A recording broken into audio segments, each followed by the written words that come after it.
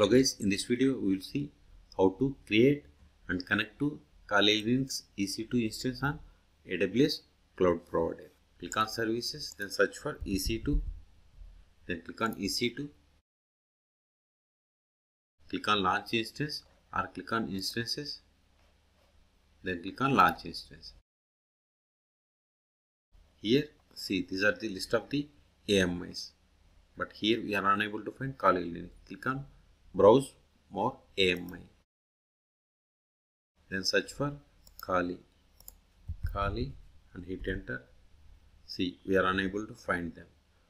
So, click on, then search here, that is Amazon Market AMS. See here, we have the Kali Linux. Click on this, and the version number is Kali Linux 2023. Click on Select, then click on Continue. See, this is the AMI ID. Okay. Type is T2 mic medium, and here we have to click on create a new key pair. Then I am giving name as Kali Linux.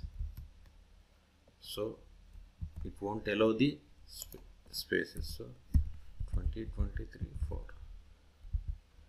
Then select the private key file format as PEM. Then click on create key pair.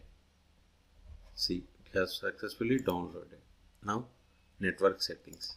Select the VPC, subnet and enable auto assign public IP.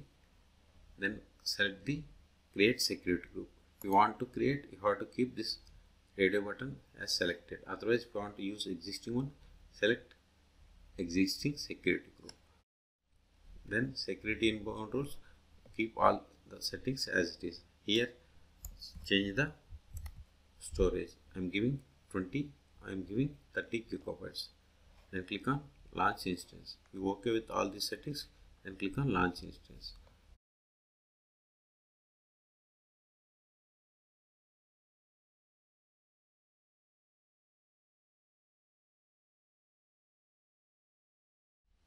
Go to instances.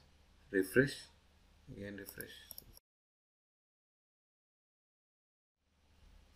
click on instance then click on connect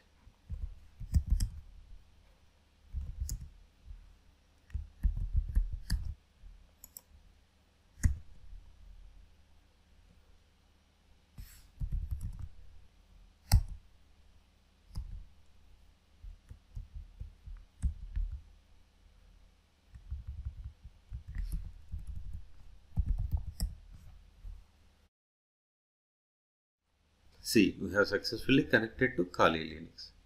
So, in this video, so in this video, we have seen how to create and connect to Kali Linux 2023.4. Let's verify the Kali Linux version more slash etc os hyphen release.